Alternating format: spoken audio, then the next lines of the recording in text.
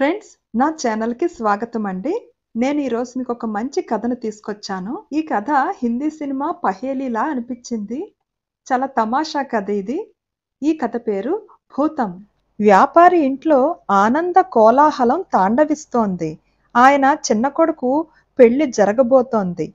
ఆయనకు కాబోయే భార్య పొరుగుపట్నం నుండి వచ్చిన ఒక అందమైన పడుచు. ఆమె రాక కోసం వ్యాపారి ఇంట్లో అందరూ ఆతృతగా ఎదురు చూస్తున్నారు పెళ్ళి తరువాత ఆమె ఒక పల్లకీలో ప్రయాణం ప్రారంభించింది. పెళ్ళికొడుకు మాత్రం ఆమెను తన ఇంట్లోకి ఆహ్వానించేందుకు వీలుగా ముందే గుర్రం ఎక్కి వెళ్ళిపోయాడు. ప్రయాణం మధ్యలో బోయేలు అలసటతో పల్లకీని తోవలో బెల్వ వృక్షం కింద దింపారు. నవవధువు పల్లకీలో నుండి బయటికి దిగి వచ్చి ఒళ్ళు విరుచుకుంది. సరిగ్గా అప్పుడే ఆ చెట్టు మీద నివసించే భూతం ఆమెను చూచి ఆమె మీద మోజుపడింది. బోయేలు కాసేపు అయ్యాక అలసట తీరగానే మళ్ళీ పల్లకి ఎత్తుకుని ఓహోం ఓహోం అనుకుంటూ నవవధువును అత్తవారింటికి చేర్చారు. భూతం ఆ పల్లకి వెళ్ళిన వేపే ఆకాంక్షతో చూస్తుండిపోయింది. పెళ్ళయ్యాక కొన్ని వారాల తర్వాత పెళ్ళి కొడుకు ఏదో పని మీద సుదూర ప్రాంతంలోని ఒక పెద్ద పట్టణానికి వెళ్ళవలసి వచ్చింది. ఆయన అక్కడ వ్యాపారం నెలకొల్పి కుటుంబ ఆస్తి పెంచవలసి ఉంది. ఆయన విచారంతో భార్యకు వీడుకోలు పలికి వీలైనంత త్వరగా తిరిగి వచ్చేస్తాను అని చెప్పి ప్రయాణమై వెళ్ళిపోయాడు. భూతం ఇదంతా చూస్తూ ఉండింది. ఇప్పుడిక తన పథకం అమల్లో పెట్టదలిచింది. కొన్ని రోజుల తర్వాత ఆ భూతం ఆ యువ వ్యాపారి రూపం ధరించి ఇంటికి వచ్చింది.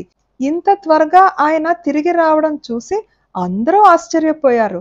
అక్కడ తన పని మొదలు పెట్టడానికి ఇది సరైన సమయం కాదని తన వ్యాపారం కొన్ని నెలల తర్వాత ప్రారంభిద్దాము అనుకుంటున్నానని ఆయన చెప్పాడు. దానితో అందరూ సంతృప్తి చెందారు. ఆయన భార్య ఆనందం గురించి చెప్పనక్కరలేదు. రోజులు వారాలుగా వారాలు నెలలుగా నెలలు సంవత్సరాలుగా గడిచిపోయాయి. ఇంట్లో అన్ని పనులు సజావుగా సాగిపోతున్నాయి.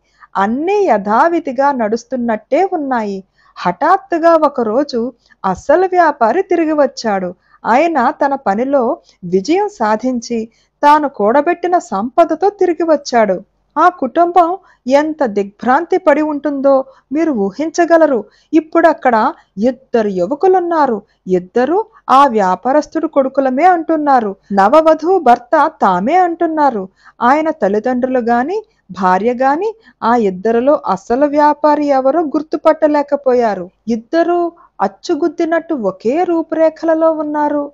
ఇద్దరు యువకులు ఒకరినొకరు నువ్వు మోసగాడివంటే నువ్వు మోసగాడవని తిట్టుకున్నారు పోట్లాడుకున్నారు.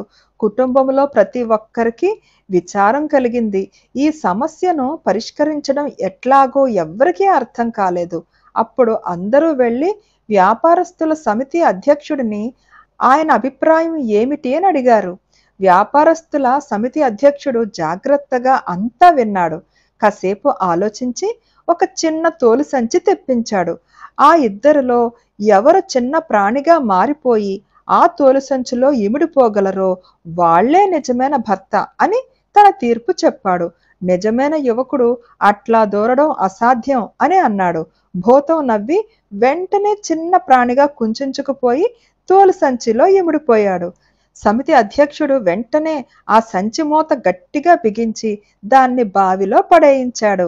అట్లా కుటుంబాన్ని పట్టుకున్న భూతం వదిలిపోయింది.